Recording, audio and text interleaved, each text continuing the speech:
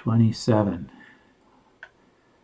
Uh, I'm getting a little fuzzy, so if I start making some mistakes, uh, please forgive me, but I'm I, I committed to getting this done, um, and I'll do it.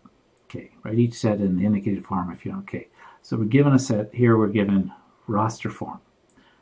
We want to put it in set builder form. So it's the numbers, it's the integers um, greater than or equal to negative 2, less than or equal to 2.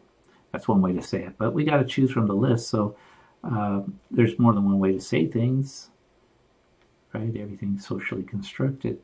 Uh, x such that x is an integer, x is greater than 3, no way, or, or less than 3, well, no, it stops. It's got to be between. So here we go. Greater than negative 3, less than 3. The endpoints are not included. So this is really all we got to say, right? Uh, the reason the, the 4 is wrong, certainly that should hopefully be, because it's 4 is not included, neither is 3 or negative 3.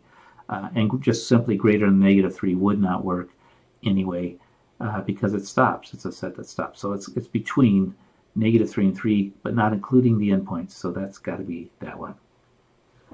Now we're given this set builder um, y such that y is an integer and y is greater than or equal to negative 1.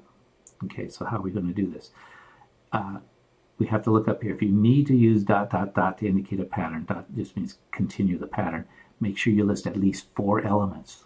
Why four? Three usually is enough, but oh, stop complaining and just do it, little crow. Okay, so here we are. And so we start negative 1. Negative 1 is included. There we go. There we go. What's bigger than negative 1? 0, comma, 1, comma, 2. It says make sure to use at least 4. So let's, hey, they asked for 4. Let's give them 5. Why not? Mm, give them 6. Okay, and then we can stop. Whatever you want. Do at least 4, though. Don't do 3. 4, 5, 6, whatever you want. There we go. So we're going to stop recording here and uh, move on to 28.